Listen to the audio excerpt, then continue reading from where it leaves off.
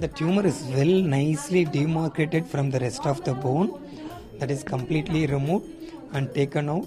There was a 526 teeth which is present in the entire sac.